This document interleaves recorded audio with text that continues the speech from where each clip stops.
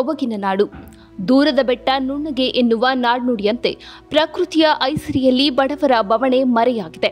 ದಲಿತರಿಗೆ, ಶೋಷಿತರಿಗೆ, ಆದಿವಾಸಿಗಳಿಗೆ, ಭೂರಹಿತ ಬಡವರ್ಗದ ಜನರಿಗೆ ಬದುಕು ದುಸ್ತರವಾಗಿದ್ದು, ಜೀವನ ಕಟ್ಟುವುದು ದುಸ್ಸಾಹಸವೇ ಆಗಿದೆ. ಕೊಡಗಿನಲ್ಲಿ ಭೂಮಿಗಾಗಿ, ವಸತಿಗಾಗಿ ಸಾಕಷ್ಟು ಹೋರಾಟ ಕಟ್ಟಿವೆ ಆದರೆ ನ್ಯಾಯ ದೊರೆತಿದ್ದು ಬೆರಳೆಣಿಕೆಯಷ್ಟು ಮಾತ್ರ.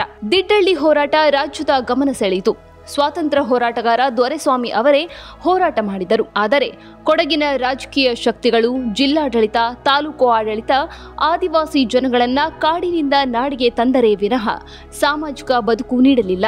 ಸಾಲುಮನೆ ಜೀತ ಪದ್ಧತಿ ಇವತ್ತಿಗೂ ರಾಜ್ಯದ ಜನತೆಗೆ ಅರಿವಿರದ ಪಾಠ. ಆಧುನಿಕತೆಯ ಬದುಕಲ್ಲಿ ಕರಾಳತಿಯ ಮೆರಗು. ಇಡೀ ಕುಟುಂಬ ಪ್ರಪಂಚದ ಅರಿವೇ ಇರದಂತೆ ದುಡಿಯುವ ಪದ್ಧತಿ. ತೋಳಲ್ಲಿ ಶಕ್ತಿ ಇರುವಷ್ಟು ದಿನ ಕೂಲಿ ಕಂಬಳ. ದುಡಿಯುವ ಶಕ್ತಿ ಇಲ್ಲವೆಂದರೆ ಕಾಫಿ ಎಸ್ಟೇಟ್ನಿಂದ ಹೊರನಡೆಯಬೇಕು. ಮುಂದಿನ ಬದುಕು ಏನು? ಕುಟುಂಬದ ಸದಸ್ಯರ ಬದುಕೇನು? ಮನೆ ಇಲ್ಲ ಕೆಲಸ ಇಲ್ಲ. ಇದು ಕೊಡಗಿನ ಶೋಷಿತ ಸಮಾಜದ ಕಷ್ಟ ಕಾರ್ಪಣ್ಯ. ಎಲ್ಲ ರೀತಿಯಲ್ಲೂ ತೊಂದರೆ ಸರ್ ಶ್ರೀಮಂತರುಗಳಿಗೆ ಇರೋ ಭೂಮಿಗಳನ್ನ ಏನು ಗುತ್ತಿಗೆ ಕೊಡಬೇಕು ಅಂತ ಈಗಿನ ಸರ್ಕಾರ ಏನು ಆದೇಶ ಮಾಡಿದೆ ಅದು ದೊಡ್ಡ ಮಟ್ಟದಲ್ಲಿ ನಮ್ಮ ಎಲ್ಲ ಜನಾಂಗದವ್ರಿಗೂ ತುಂಬ ತೊಂದರೆ ಆಗ್ತಾ ಇದೆ. ಇವಾಗ ಸರ್ಕಾರ ಗುತ್ತಿಗೆ ಕೊಡೋದ್ರಿಂದ ನಮ್ಮ ಒಪ್ಪಿಗೆ ಖಂಡಿತ ಇಲ್ಲ. ಯಾಕೆಂತ ಹೇಳಿದರೆ ಸರ್ಕಾರ ಉಳ್ಳವರಿಗೆ ಗುತ್ತಿಗೆ ಕೊಡೋದ್ರಿಂದ ಇಲ್ಲದಿರೋವರಿಗೆ ಗುತ್ತಿಗೆ ಕೊಡೋದು, ಗುತ್ತಿಗೆ ಕೊಟ್ಟರೆ ಇನ್ನೂ ಉಪಕಾರವೇ ಆಗ್ತದೆ ಸರ್ಕಾರಕ್ಕೆ. ನಾವು ಎಲ್ಲ ಒಟ್ಟಿಗಾಗಿ ಒಂದು, ನಾವು, ನಮಗೂ ಕೂಡ ಗುತ್ತಿಗೆಗೆ ಜಾಗಗಳನ್ನ ಕೊಡಿ ಅಂತೇಳಿ ನಾವು ಕೂಡ ಅರ್ಜಿ ಹಾಕ್ತೀವಿ ಸರ್ಕಾರಕ್ಕೆ. ನಮಗೆ ಗೊತ್ತಿರುವ ಹಾಗೆ ಇಷ್ಟೇ. ಸುಮಾರು ವರ್ಷದಿಂದಲೇ ಸುಮಾರು ಜನ ಇದ್ದರು. ಎಲ್ಲ ಕೋ, ಲೈನ್ ಮನೆ ಸೇರಿಸಿಬಿಟ್ಟಿದ್ದಾರೆ. ಎಲ್ಲ ನಮಗೆ ಬೇಕು, ನಮಗೆ ಬೇಕಂತ ಒತ್ತುವರಿ ಮಾಡಿ. ಇದು ಅದನ್ನೂ ಮತ್ತು ಸರ್ಕಾರ ಹೇಳ್ತಿದೆ ಈಗ ಪುನಃ ಅದನ್ನು ಸುಮಾರು ಕಾಲದಿಂದ ಬದುಕೋವ್ರಿಗೆ ಅಕ್ಪತ್ರ ಇರೋರು ಎಲ್ಲ ಒಳಗೆ ಸೇರ್ಕೊಂಡ್ಬಿಟ್ಟಿದ್ದಾರೆ. ಆ ಅಕ್ಪತ್ರ ಇರೋದನ್ನ ಕಿತ್ಕೊಂಡ್ಬಿಟ್ಟಿದ್ದಾರೆ. ಅರ್ಧ ಜನಕ್ಕೆ ಅಕ್ಪತ್ರೇನೂ ಇಲ್ಲ. ಸರ್ಕಾರ ಈ ಭೂಮಿನ ಗುತ್ತಿಗೆ ಕೊಡೋದು ನಮಗೆ ಇದು ಇದೆ. ಏನಂತ ಹೇಳಿದ್ರೆ ಸುಮಾರು ನಮ್ಮ ಬಡ ಜನಗಳೆಲ್ಲ ಲೈನ್ ಮನೇಲಿ ವಾಸ ಮಾಡ್ತಿದ್ದಾರೆ. ಅವರಿಗೆ ಬೇಕಾಗಿ ನಾವು ಭೂಮಿಗಾಗಿ ಹೋರಾಟ ಮಾಡ್ತಿದ್ದೀವಿ. ಈ ಸರ್ಕಾರ ಅವರಿಗೆ ಗುತ್ತಿಗೆ ಕೊಡೋದನ್ನ ನಮಗೆ ಕೊಟ್ಟರೆ ಏನಾದರೂ ನಾವು ಮಾಡುವಂಥ ಪರಿಸ್ಥಿತಿಯಲ್ಲಿ ಇದ್ದೀವಿ. ಅದನ್ನ ನೀವು, ಸರ್ಕಾರ ನಮಗೆ ಇದನ್ನ ಒಪ್ಪಿಗೆ ಕೊಡಬೇಕು. ಗುತ್ತಿಗೆ ಕೊಡೋದನ್ನ ಬೇಡ ಅಂತ ನಾನು ಹೇಳ್ತಿದ್ದೀನಿ ಸರ್. ಗಾಯದ ಮೇಲೆ ಬರೆ ಎಳೆದಂತೆ ಸರ್ಕಾರ ಬಡ ಜನರನ್ನ ಮರೆತು ಭೂ ಮಾಲೀಕರ ಪರವಾಗಿ ಭೂಗುತ್ತಿಗೆ ಆದೇಶ ನೀಡಿದೆ. ಈ ಕಾಯ್ದೆ ಉಪಯೋಗಕ್ಕಿಂತ ಅಪಾಯ ತಂದೊಡ್ಡುವುದೇ ಹೆಚ್ಚು. ಭೂ ಮಾಲೀಕರ ಕಪಿಮುಷ್ಟಿಗೆ ಕೊಡಗಿನ ಭೂಮಿ ಹೋದರೆ ಬಡಜನರ ಬಾಳು ಹೀನಾಯ ಸ್ಥಿತಿ. ನಾವು ಸಾಲು ಮನೆ ಕೆಲಸ ಮಾಡಿಕೊಂಡು ಇದೀವಿ. ನಮಗೆ ಜಾಗ ಬೇಕು, ಮನೆ ಬೇಕು.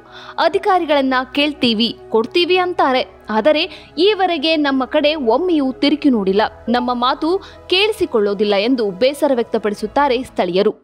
ಸರ್ಕಾರಕ್ಕೆ ಸುಮಾರು ಸತಿ ಹೋಗಿ ನಾವು ಹೋರಾಟ ಮಾಡಿ, ಅಲ್ಲಿ ಇಲ್ಲಿ ಸುತ್ತಾಡಿ, ಎಲ್ಲ ನೋಡಿದ್ದೀವಿ. ಆದ್ರೂ ನಮ್ಮನ್ನ ಯಾರು ಯಾಕೆ ಬಂದಿದ್ದಂತನೂ ಕೇಳೋದಿಲ್ಲ. ನಾವು ತುಂಬ ಜಾಗಕ್ಕೆ ಹೋಗಿದ್ದೀವಿ. ಪೊನ್ನಂಪೇಟೆ, ವಿರಾಜಪೇಟೆ, ಮಡಿಕೇರಿ, ಎಲ್ಲ ತಾಲೂಕು ಪಂಚಾಯತಿಗೆ ಹೋಗಿ ಎಲ್ಲ ಕಡೆನೂ ಹೋರಾಟ ಮಾಡಿದ್ದೀವಿ. ಮೀಟಿಂಗ್ ಮಾಡಿದ್ದೀವಿ. ಯಾವುದೇ ಥರದ ನಮ್ಮ ಮೇಲೆ ಇದು ತಗೊಂಡಿಲ್ಲ ಅವರು. ಕೊಡ್ತೀನಿ, ಇನ್ನೊಂದು ಎರಡು ತಿಂಗಳಲ್ಲಿ ಕೊಡ್ತೀನಿ ಅಂತ ಹೇಳ್ತಾರೆ. ಅಲ್ಲಿಂದ ನಮ್ಮ ಬಗ್ಗೆ ಕ್ರಮನೇ ತಗೊಳ್ತಾ ಇಲ್ಲ ಅವರು. ಈಗ ಭೂಗುತ್ತಿಗೆ ಕೊಡೋದ್ರಿಂದ ಏನಾಗ್ಬೋದು? ಸರಿಯಾಗಿ ಭೂಗುತ್ತಿಗೆ ಕೊಡೋದು ಬಾ ನಮಗೆ ನಮಗೆ ಭಾರಿ ತೊಂದರೆ ಆಗ್ತದೆ ಸರ್. ಯಾಕೆಂದರೆ ನಾವು ಇಲ್ಲಿ ಹುಟ್ಟಿ ಬೆಳೆದವರು. ಅದೀಗ ಭೂ ಮಾಲೀಕರಿಗೆ ಕೊಟ್ಟರೆ ನಮ್ಮಂಥ ಪಾಪ ಜನರು ಏನು ಮಾಡೋದು ಸರ್ ಇಲ್ಲಿ? ನಮ್ಮಲ್ಲಿ ಸುಮಾರು ಎಸ್ಟೇಟ್ಗಳಲ್ಲಿ ಲೈನ್ ಮನೆಗಳಲ್ಲಿ ನೀವು ಫಾರೆಸ್ಟಲ್ಲಿ ಸುಮಾರು ನಮ್ಮ ಕೂಲಿ ಜನ ಪಾಪ ಜನ ಇದ್ದಾರೆ. ಎರವ ಕುರು- ಕು- ಕುರುಬ ಬೆಟ್ಟ ಕುರುಬ ಸೋಲಿಗ ಇವರೆಲ್ಲ ನಮ್ಮ ನಮ್ಮ ಸುಮಾರು ಜನ ಇದ್ದಾರೆ. ಇವರಿಗೆಲ್ಲ ಜಾಗ ಹಿಂಗೆ ಭೂ ಮಾಲೀಕರಿಗೆ ಕೊಟ್ಟರೆ ನಮ್ಮ ನಮ್ಮ ನಮ್ಮ ಪರಿಸ್ಥಿತಿ ಆಯ್ತಾ ಸರ್ ಆಗ? ನಾವು ಪ್ರಯತ್ನ ಮಾಡ್ತಾ ಇದ್ದೀವಿ ಸರ್. ಸುಮಾರು ಪ್ರಯತ್ನ ಮಾಡಿದ್ದೀವಿ. ಅಂದರೂ ನಮಗೆ ಇದು ಸಿಕ್ಕಿಲ್ಲ. ಯಾವ ಜಿಲ್ಲಾಡಳಿತದ ಹತ್ರ ಹೋಗಿದ್ರಾ ಅಥವಾ ತಾಲೂಕು ಆಡಳಿತದಲ್ಲಿ ಹೋಗಿ ಮಾತಾಡಿದ್ದೀರಾ ಅಥವಾ ನೀವು ಸ್ಥಳೀಯವಾಗಿ ಮಾತಾಡ್ತಿದ್ದೀರಾ ಜಿಲ್ಲಾಡಳಿತ ಜಿಲ್ಲಾಡಳಿತವರು ಜೊತೆ ಹೋಗಿ ಮಾತಾಡಿದ್ದೀವಿ. ಏನು ಹೇಳ್ತಾರೆ ಜಿಲ್ಲಾಧಿಕಾರಿಗಳು?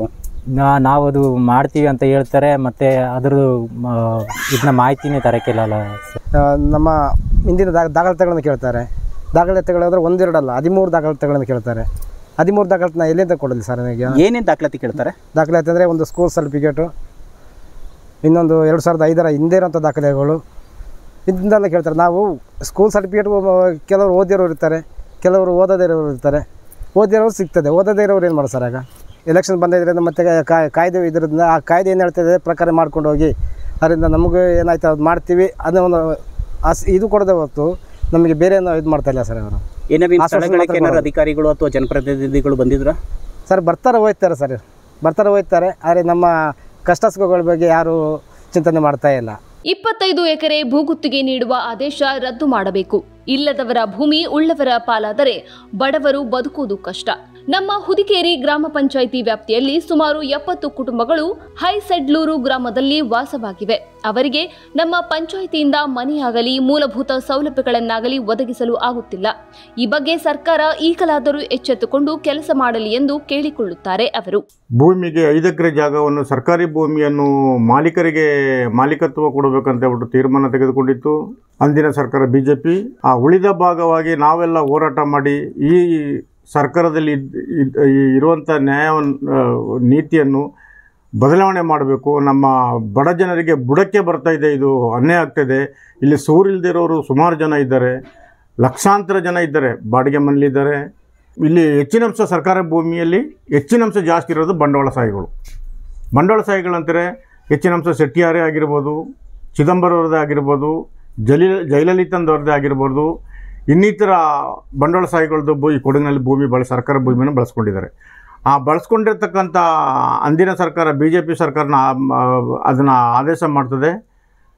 ನಾವೆಲ್ಲ ಹೋರಾ ಹೋರಾಟ ಮಾಡಿ ಭೂಮಿಯನ್ನು ಉಳಿಸ್ಕೊಳ್ಬೇಕಂತ ಹೇಳ್ಬಿಟ್ಟು ಹಲವಾರು ಹೊಡೆದು ನಾವು ವಿಫಲರಾಗಿದ್ದೇವೆ. ಸರ್ಕಾರ ನಮ್ಮ ಮೇಲೆ ಯಾವ ಪರಿಣಾಮವನ್ನು ಈ ಬಡವನಿಗೆ ಜಾಗ ಕೊಡಬೇಕಂತ ಯಾವ ಅನುಮೋದನೆಯನ್ನು ಮಾಡಲಿಲ್ಲ. ಅದುದರಿಂದ ನಾವು ಈ ಸರ್ಕಾರನ ಬದಲಾವಣೆ ಮಾಡ ಮಾಡ- ಮಾಡಬೇಕಂತ ಹೇಳ್ಬಿಟ್ಟು ಭಾಳ ಕಷ್ಟಪಟ್ಟು ಎಲ್ಲರೂ ಸೇರಿ ಈ ಸಲ ಬ ಸರ್ ನಾವು ಸಿದ್ದರಾಮಯ್ಯ ಸರ್ಕಾರನ ತಂದ್ವಿ. ಸಿದ್ದರಾಮಯ್ಯ ಸರ್ಕಾರ ತಂದ ನಂತರ ಕೂಡ ಇವರು ನಮಗೆ ಭೂಮಿಯನ್ನು ಒದಗಿಸದೆ ಇವರಿಗೆ ಬಂಡವಾಳ ಸಹಿಗಳು ಕೂಡ ಇವರು ಬಿ ಜೆ ಪಿ ಸರ್ಕಾರ ಮಾಡಿದ್ದನ್ನು ಇದನ್ನೇ ಅನುಮೋದನೆ ಇವರು ಕೂಡ ಮಾಡ್ತಾ ಇದ್ದಾರೆ. ಅದರ ವಿರುದ್ಧವಾಗಿ ನಾವು ಕರ್ನಾಟಕ ಸರ್ಕಾರ ವಿರುದ್ಧ ನಾವು ಭಾಳ ನಮಗೆ ಅನ್ಯಾಯ ಆಗಿರೋದು ಮೂರು, ನಾಲ್ಕು ಜಿಲ್ಲೆಗಳಿಗೆ ಮಾತ್ರ. ಒಂದು ಚಿಕ್ಕಮಗಳೂರು, ಒಂದು ಹಾಸನ, ಒಂದು ಕೊಡಗು, ಒಂದು ಶಿವಮೊಗ್ಗ. ಈ ಜಿಲ್ಲೆಗಳಿಗೆ ನಾವೆಲ್ಲ ಸಂಘಟನೆರು, ನಾವು ಎಲ್ಲ ಸಂಘಟನೆ, ನಮ್ಮ ಪ್ರಗತಿಪರ ಎಲ್ಲ ಸಂಘಟನೆ ಕೂಡ ಒಂದಾಗಿ ಅತಿ ಹೆಚ್ಚು ಜನ್, ಜನಸಂಖ್ಯೆಯನ್ನು ಹೊಂದ್ ಹೊಂದಿಕೊಂಡು ನಾವು, ನಾವಿಲ್ಲಿ ಕೊಡಗಿನಲ್ಲಿ ಫಸ್ಟ್ ಪ್ರಾರಂಭ, ಅತಿ ದೊಡ್ಡ ಪ್ರಾರಂಭನ ಮಾಡಿ ಪ್ರತಿ ನಾಲ್ಕು ಜಿಲ್ಲೆಗೆ ಏನು ಅನ್ಯಾಯ ಆಗಿದೆ, ಈ ಅನ್ಯಾಯಕ್ಕೆ ತಕ್ಕಂತೆ ನಾವು ಹೋರಾಟ ಮಾಡ್ತೀವಿ. ಆಯಿತಾ? ಅದರಿಂದ ನಾವು ಈ ಮೊನ್ನೆ ಕೂಡ ನಾವು ಮಡಿಕೇರಿಯಲ್ಲಿ ಪತ್ರಿಕೆಗೋಷ್ಠಿಯನ್ನು ಮಾಡಿದ್ದೀವಿ ಸರ್ಕಾರಕ್ಕೆ ಗಮನ ಸೆಳೆದಿದ್ದೀವಿ. ನಾವು ಈ ಹೋರಾಟ ಈ, ಈ- ಅನುಮೋದನೆ ಮಾಡಿರುವಂಥದ್ದನ್ನ ವಾಪಸ್ ಪಡೆದಿದ್ರೆ ಪಡೆದಿದ್ರೆ ಚಳವಳಿ ಅಂತೂ ಬೀದಿ ಚಳವಳಿ ಆಗಿರ್ಬೋದು, ಕಾನೂನು ಹೋರಾಟ ಆಗಿರ್ಬೋದು, ಇಲ್ಲಿಂದ ವಿಧಾನಸಭೆ ಹೋರಾಟ ಆಗಿ, ಆಗಿರ್ಬೋದು, ವಿಧಾನಸಭೆ ಮುತ್ತಿಗೆ ಹೋರಾಟ ಆಗಿರ್ಬೋದು, ನಾವು ಗ್ಯಾರಂಟಿ ಮಾಡೇ ಮಾಡ್ತೀವಿ. ಅದರಲ್ಲಿ ನಾವು ಮುಂದೆ ಇಟ್ಟಿದ್ದ ಹಿಂದೆ ತೆಗೆಯೋದೇ ಇಲ್ಲ. ಒಪ್ಪತ್ತಿನ ಹೊಟ್ಟೆ ಹೊರೆಯುವುದಕ್ಕಾಗಿ ಹಗಲಿರುಳು ದುಡಿಯುವ ಇಲ್ಲಿನ ಜನರಿಗೆ ಬದುಕು ದುಸ್ತರವಾಗಿರುವುದು ಬೇಸರದ ಸಂಗತಿ. ಸರ್ಕಾರ ಈಗಲಾದರೂ ಎಚ್ಚೆತ್ತುಕೊಂಡು ಎಸ್ಟೇಟ್ಗಳಲ್ಲಿ ಕೆಲಸ ಮಾಡುವ ಕೂಲಿ ಕಾರ್ಮಿಕರ ಬದುಕು ಹಸನು ಮಾಡಲಿ. ಕನಿಷ್ಠ ಈ ಎಲ್ಲ ಕೂಲಿ ಕಾರ್ಮಿಕರಿಗೆ ಸೂರಿನ ವ್ಯವಸ್ಥೆ ಕಲ್ಪಿಸಿ ನೆಮ್ಮದಿಯ ಬದುಕು ಕಟ್ಟಿಕೊಳ್ಳಲು ಸಹಕರಿಸಲಿ. ಮತ್ತಷ್ಟು ವಿಶೇಷ ವಿಡಿಯೋಗಳನ್ನು ನೋಡಲು ಮತ್ತು ಹೊಸ ವಿಡಿಯೋಗಳ ಬಗ್ಗೆ ತಿಳಿಯಲು ಈ ದಿನ dot com YouTube channel subscribe ಮಾಡಿ ಮತ್ತು ಬೆಲ್ ಐಕಾನ್ ಕ್ಲಿಕ್ ಮಾಡಿ.